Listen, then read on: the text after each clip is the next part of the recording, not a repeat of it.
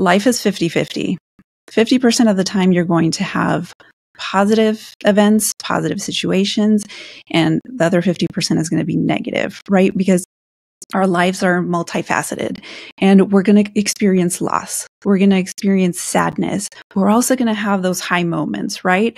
And there's, there's this balance and understanding that it's not always going to go our way is that's what, how life is, right?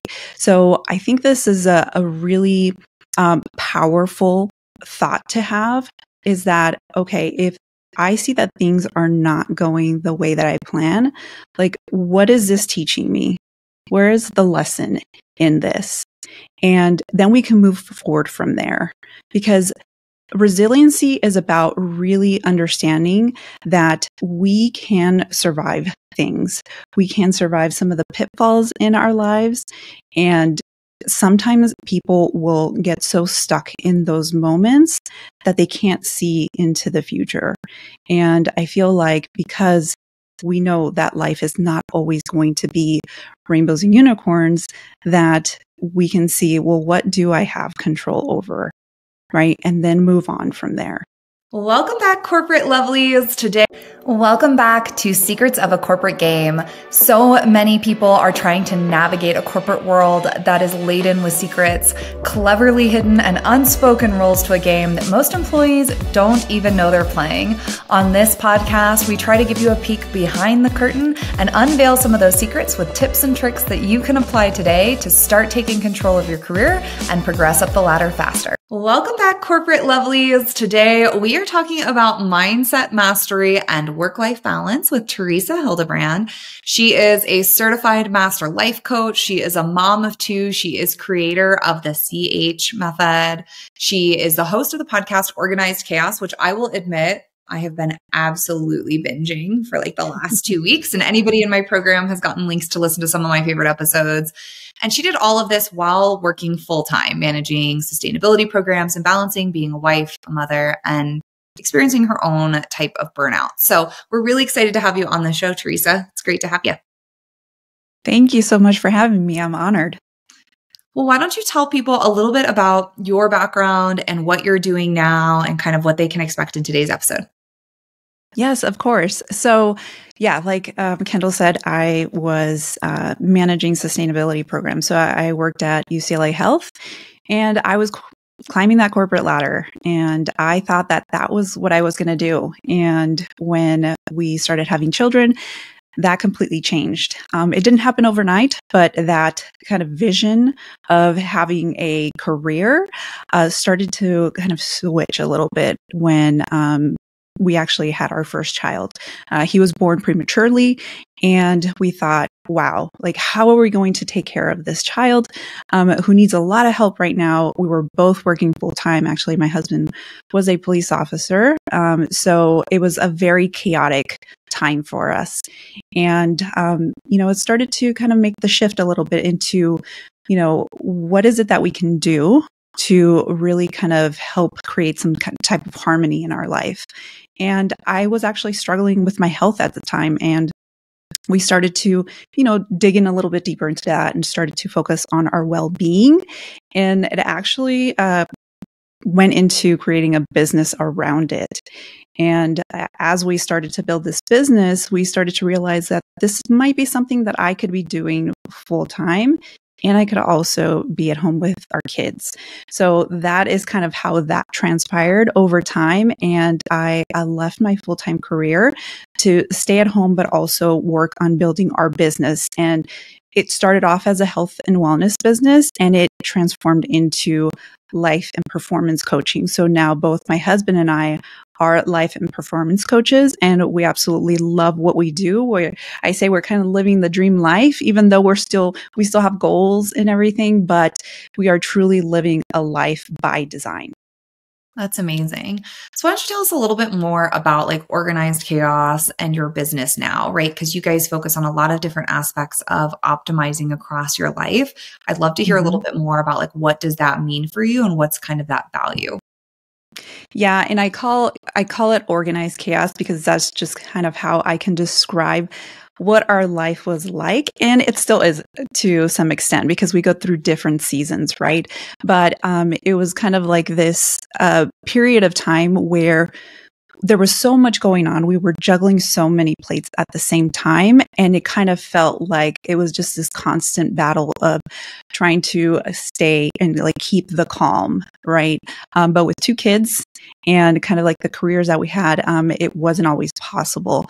Um, but what ended up happening was I started to kind of learn certain things that I didn't realize were in my control. So, a lot of what I may be talking about today, mindset, I started to focus on my personal growth journey. And it really started when I was working full time. I started to read books and start listening to podcasts. And that really kind of like started to uh, spark something in me that I didn't realize that I had. There was this energy that started to um, really kind of develop within me. And I started to really focus on well, what else can I learn? What other skills are out there? And a lot of it had to do with confidence at the time, because even though I had a career, I had this position and I was creating this, these climate initiatives and working with other people and corporate executives, there was always this kind of like imposter syndrome that I was feeling. And I thought, well, if I focus on my confidence and try to to really better that uh, you know self worth it would kind of transform my life. And it really did. And it all started with just listening to audiobooks on my way to work.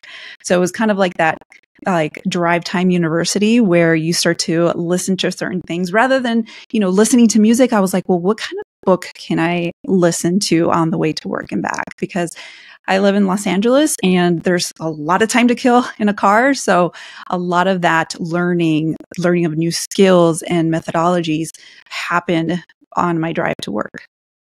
That's awesome. So you talked a lot about how mindset has shifted and been a huge part of your journey. So, mm-hmm.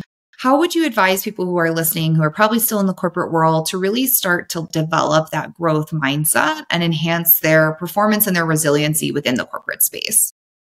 Yeah, and I th- and I think about like a growth mindset different than how most people think. I think that people will start to just think about, well, I just have to have kind of like this positive outlook on things. And it's all about positivity and thinking about it that way. And I think a like really truly what it is is that we start to develop this uh, shift into thinking about opportunities and what can i um, what are some opportunities that are out there that i can move into and when i think about in the corporate world, you know, there's, hey, I, I want to develop my skills and I want to get that promotion and I want to better myself. I think about it where it's like a lot of the things that we feel happen to us, there's different ways to approach it. One, we can, you know, build a scarcity mindset around like not having the confidence to really go for that job or really have that converse like difficult conversation with employees or with your boss um, or you can start to think about it like what do i have control over and what I truly have control over is my perception of things and how I react to things. So we can't control outside circumstances, but we can control how we perceive things and how we react to them. And that's a super valuable skill to have because we start to see things differently. And we start to kind of develop this uh, pattern of habits that is because belief drives behavior. So whatever we believe about ourselves or whatever our thoughts are about certain situations, that's what drives our feelings and our behaviors. And we start to see other outcomes. Huge thank you to today's sponsor for our episode, Symposia Academia. They assist individuals to get into cybersecurity, and you do not need a degree or any prior work experience. They'll help you land a GRC analyst position in cybersecurity with their four step process, which includes training and internship, interview preparation, and then on the job support. In order to get started, go ahead ahead and head over to the link www.symposia.com slash channel dash partner slash KB dash three. You can also find this link down in the show notes, but again, it is symposia.com slash channel dash partner slash KB dash three and check them out. So a lot of times what I would see is if someone wanted to advance their career, a lot of times they felt like, well, I don't have control over who likes me or not. You know, it's kind of like a, about who you know. But in reality, like that is not really going to take you where you want to go. It's not going to give you the ability to see the opportunities and what you can do and what you have control over. So rather than thinking, well, I don't know, you know, what so and so is going to do and you know i, I can't really um, find like the, the things that I need to do to in order to get this position, you start to think about it in a different way where, okay, what do I have control over? Okay, what I have control over is how I perceive things. So I'm going to bring all of the skills that I have and I'm going to see what I can develop in order to get that position. And how that's going to make me feel is empowered. And when I'm feeling empowered, I take specific actions that will really make me stand out. Right. And so it's like we do have some control over what we can do rather than thinking that, well, it's, it's who you know. Right. Yeah there's so many things teresa that you mentioned that i i absolutely love i often will quote the like do the best you can over the things you have control over and leave the rest to god because mm-hmm. we don't have control over those things there's no sense building ourselves right. up and angst over them but mm-hmm. there is that focus of how do we do the best with the things that are in our control. To your point, upskilling, communication, mm-hmm. relationship building. Where do we mm-hmm. spend our efforts so that those can be effective? And I think to the latter point of what you were sharing, that yes, there are always going to be times in corporate where we don't have control over how the other person's going to respond to a situation. Mm-hmm. Is our boss who's telling us we're going to get promoted going to follow through on that promise? Is mm-hmm. the coworker who is notoriously difficult to work with going to blow up in the meeting that we have later? Mm-hmm. But there is so much that we can do and I think that that's something very similar you and I have in common is when I think of how I coach, it's you need to exhaust every option of what you have control over to set yourself up for the optimum amount of success. If yeah. it doesn't work, then we pivot and we create a new strategy and we could look for a different boss or we could leave or we can do these other mm-hmm. actions. But there's so much you do have control over in your space. And oftentimes, I think people discount their own power mm-hmm. of how capable are you to show up in a space and do something that's going to be valuable to yourself. And we think there's so many outside forces. And in some ways, there are. Uh, mm-hmm. But I love hearing you say that there are things you can influence, right? And this applies to your corporate life, but also your personal life and your relationships. Exactly. And, um, I think that's great. And you talk a lot about how this helps set you up for success, helps build your confidence. What does this do in terms of kind of that resiliency piece, right? We're going to face those setbacks when things don't go our way. Mm-hmm. How do you kind of coach around being resilient to potentially those negative directions that our lives can take? Yeah. And I think one thing that is, you know, truly a game changer to understand is that life is 50 50. 50% of the time, you're going to have positive events, positive situations, and the other 50% is going to be negative, right? Because our lives are multifaceted and we're going to experience loss. We're going to experience sadness. We're also going to have those high moments, right? And there's, there's this balance and understanding that it's not always going to go our way is that's what, how life is, right? So I think this is a, a really um, powerful thought to have is that, okay, if I see that things are not going the way that I plan, like, what is this teaching me? Where is the lesson in this? And then we can move forward from there because resiliency is about really understanding that we can survive things. We can survive some of the pitfalls in our lives and sometimes people will get so stuck in those moments that they can't see into the future. And I feel like because we know that life is not always going to be rainbows and unicorns, that we can see, well, what do I have control over? Right. And then move on from there. Yeah. I love Teresa, like the calmness that you bring to these situations, right? Um, there's an Olympic athlete who gave an interview and they said, you know, how do you deal with it all, right? Because there's a, a, lot of mental health implications and burnout implications mm-hmm. when it comes to being a, an extreme athlete, right? At, yeah. any level, whether that's D1 in college or you're a professional athlete or Olympian. Mm-hmm. And she said, get used to feeling terrible 30% of the time. Mm-hmm. You'll feel okay 50% of the time, and you should feel great about 20% of the time. Mm-hmm. She's like, and once you wrap your head around that that's your ratio, it's a lot easier to feel bad 30% of the time versus yeah. so many of us today, I think, especially with social media influences and and the, the positivity movement that we think we we need to be perfect, feel perfect all the time. Mm-hmm. And the mm-hmm. reality is that life ebbs and flows. And so I love that mm-hmm. you're calling that out because it, it can be easy to get into our own heads and feel like, oh, well, I don't feel great today. Maybe I'm not in the right career. Maybe I'm not mm-hmm. In a relationship with the right person. Maybe I'm not doing the right things with my time. And it's important to be able to differentiate between a season mm-hmm. and a negative place. And so I love that we're calling yeah. attention to that. And there's that great connection here between being resilient in the tough times, but also creating like a healthy balance right? Mm-hmm. Between your professional life and your personal life and how those things kind of coexist. I think that, you know, the popular term right now is like work life balance. I heard mm-hmm. that this year we're changing it. Now it's life work balance because life is more important, whichever way you mm-hmm. want to take it. So I'd love yeah. to hear like, how do you advise on like maintaining that healthy balance there?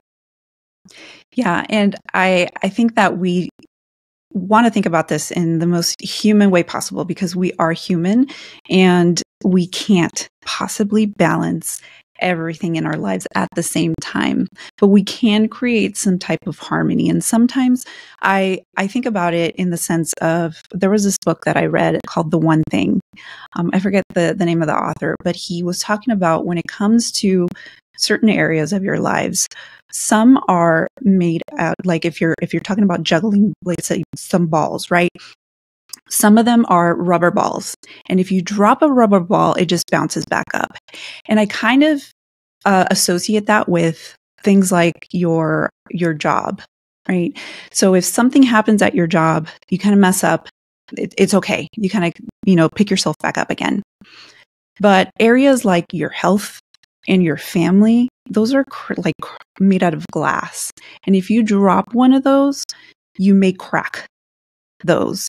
And those are really hard to to deal with and repair, right? So when I think about the different areas of our lives, we I also have a, um, a I'm the co-founder and co-host of a YouTube channel called Modern Leadership with my husband.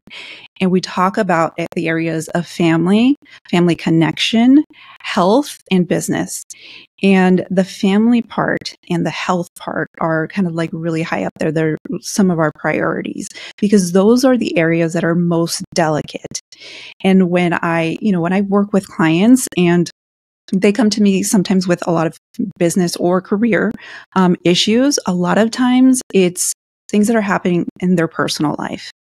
And once they start digging into um, the issues of personal life, or they're having a disconnect with a in a relationship, or they they don't feel like they're taking care of themselves, once they start focusing on that, everything else starts to flourish. They get more clarity, more focus, more energy to be able to give to the other areas of their lives, like their career, their work, their business. So the way that I think about like this work life harmony or balance, however you want to call it, it's just about choosing where you want to focus and and you know flourish in those areas and a lot of times it's around your personal life and then everything else starts to fall into place it's great advice that you're sharing. And I'm going to connect this back to something that you said at the top of the call, which is how different your perspective was post children. Mm-hmm. Right.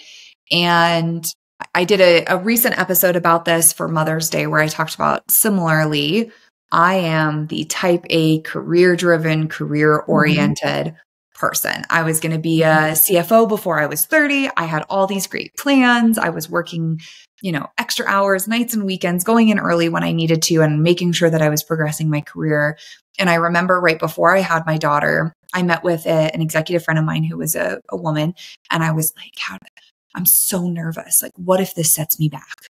What if having kids like slows down my career?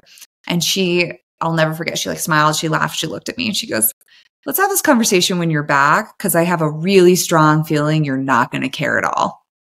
and I was like, no, my career is like the most important thing to me. It's my number one priority. It's like my lifeblood. And I had my daughter and I came back to work and I was like, you're right. This is not worth it. but suddenly yeah. everything had shifted that for me, my kids became such a higher priority. My family became such a higher mm-hmm. priority. Finding balance to your point that was focused around my overall wellness, where my career would fit into that as an aspect that facilitated other things. It became a significantly smaller part of my identity. Mm-hmm. And so I'd love to get your take when we talk about this. A lot of the facets that you're mentioning, there's a lot of personal identity association that happens here right? We think our identity is our title, it is our job, mm-hmm. it is our being a mother. And so I'd love to get your take when we think of creating this harmony and we think of understanding the highest priorities to us. How does this influence like our sense of self and that identity as well? Yeah, I think it, it does. And especially when you're coming from the corporate world and then let's say you move into being a stay-at-home mom or you know working on your uh, business i really had a hard time going from the corporate world to home life and in my mind, I thought, well, this is going to be great. I'm going to have so much time to spend with my kids and I'm going to be able to work on our business and we're going to blow it up. And I had all of these wonderful ideas and visions of what life was going to look like. However, like I said, life is 50 50. So, first off, I felt like I did lose my identity in a sense because to me, I was a career mom. I was a working mom. And then when I took that hat off, it was really hard for me to navigate it all, navigate some of the changes. Even with being at home, I wasn't talking to anybody. I didn't realize how much uh, the social interaction was going to affect me when I didn't have that. Because when I was going to work, I had friends, I would go to lunch, I would chit chat and all of that, and just having other people to talk to, that was um, kind of a big thing for me. And I, I didn't realize that until I went to therapy um, and I started to talk through these things. And then also, my husband got really sick uh, six months after I left my job. And then it was like, okay, well, he can't work. He physically can't work. And now it's like all on me. Like, I need to figure this out. So there was a lot of different emotions and different things. But yeah, I felt like I had kind of lost that identity until I kind of rebuilt a different identity right? Yeah. Um, because I really I knew that I, I needed to be there for my children and figure this out, but also that it was okay. We make pivots all the time in life. And for me to say that I'm I'm not a career mom anymore, I'm not a working mom anymore. I'm, you know, a work from home mom. I mean, I could call myself whatever I wanted, but I just had to be okay with this new pivot that I had and the new life that I had. Yeah. I'm I'm so glad to hear you say this, Teresa, because when I think of like myself, and I'm sure so many people who are listening, this will resonate, is like I still have my corporate job. I run mm-hmm. a whole business. I have two young children. I've been married for mm-hmm. uh, 12 years now, and it is hard to balance it all.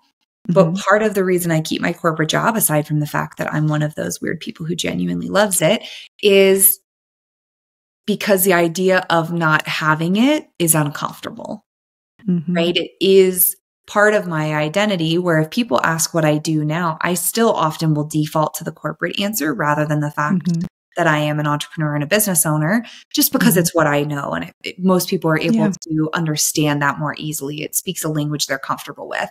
Mm-hmm. And hearing that you had your own journey of reinventing that identity, I think is so important for many of us who are we want to do a career pivot or they are thinking of starting an entrepreneurial effort or they are in corporate. Maybe they're the first person in their family who is in corporate. And so it's mm-hmm. a different type of identity that we're building. And so learning to get comfortable with yourself, having somebody to express those thoughts to, whether that's therapist, friend, spouse, etc. Mm-hmm. Um, I think this is all very important for everybody. I feel like identity is the biggest struggle that we have right now because there's so many people we can be. Yeah. How do you hone in on who you are? Um, so I love all of this. So if people are listening to this and they're thinking, this is great, I needed this mindset refresh, I needed a new perspective, what's one piece of tangible advice that you would give them where you would say, hey, tomorrow, go do this. And this will kind of help start to get you on that, that more harmonious path and also help mm-hmm. with kind of those mindset shifts.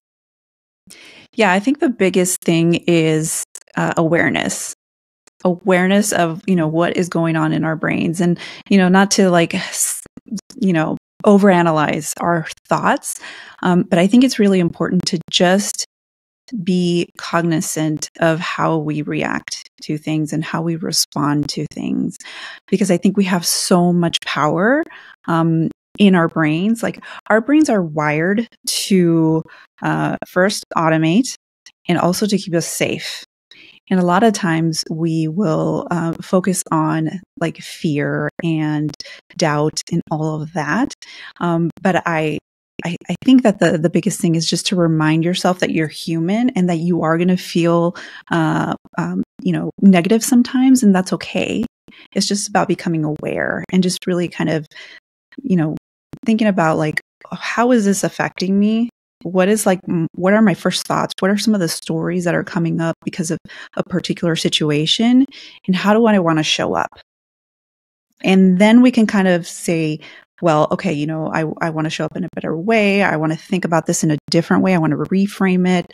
Um, but i think just about like like what is coming up? What are some of the patterns that i start to see about how i'm thinking about different situations I think is like the first step in kind of understanding like what makes us tick and what um, what we can do to actually use that to our advantage. Because once we start to realize, okay, I see this pattern, but I have control now, and I can actually change it and reframe it.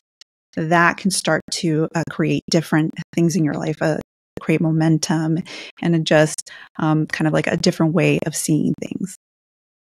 Love that. So, Teresa, if people are listening to this episode and they loved it as much as I did, where do they go if they want to find you and they want to get more information about what you're doing? Yeah, so you can find me on Instagram or Facebook, and I am Teresa at Teresa Hildebrand uh, underscore coaching. So that's where I hang out the most. I do have a LinkedIn profile, but I'm I'm not you know, always there. Um, but you can find me there as well as Teresa Hildebrand. Um, I also have a podcast um, called Organized Chaos. So if you want to check that out as well, um, I talk all things mindset, organization, productivity, and work life balance. Awesome. Well, thank you so much, Teresa, for coming on the show. If you guys listened to this episode and you loved it, make sure you give us five stars. Feel free to comment your questions or your thoughts below. Otherwise, Teresa, thank you so much. We'll definitely have to have you back. Thank you for having me.